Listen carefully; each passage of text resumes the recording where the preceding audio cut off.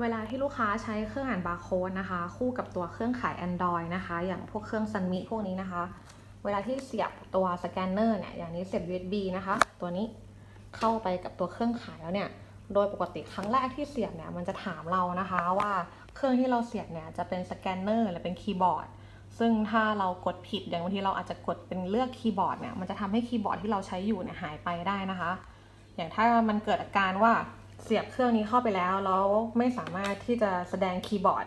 ในหน้าเครื่องนี้ตอนพิมพ์หรืออะไรได้เนี่ยให้เช็คแบบนี้นะคะ ก็คือมาที่ตั้งค่า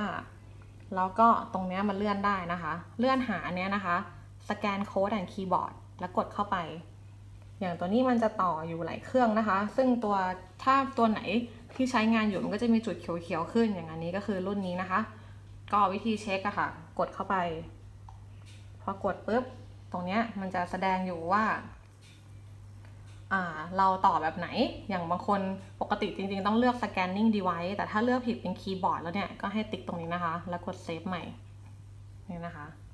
วิธีเช็คอีกทีนะคะ กดเข้าไปปุ๊บ ถ้ามันขึ้นหน้านี้ก็กดอันนี้ select device type แล้วก็เลือกเป็น scanning device นะคะ แล้วทีนี้ตรงอีกจุดหนึ่งพอเลือก scanning device เสร็จเนี่ย ให้มาเช็คตรงนี้อีกอันนึงนะคะ ก็คือเลื่อนมาตรงนี้ภาษาและการป้อนข้อมูลกดเข้าไปค่ะ แล้วมันจะมีแป้นพิมพ์จริง กับแป้นพิมพ์เสมือนให้เลือกแป้นพิมพ์จริงนะคะ แล้วกดเปิดอันนี้นะคะ ให้เป็นสีส้ม แสดงแป้นพิมพ์เสมือน แล้วทีนี้ลองมา ดูนะคะว่า มันขึ้นไหม อย่างอันนี้เนี่ยก็คือ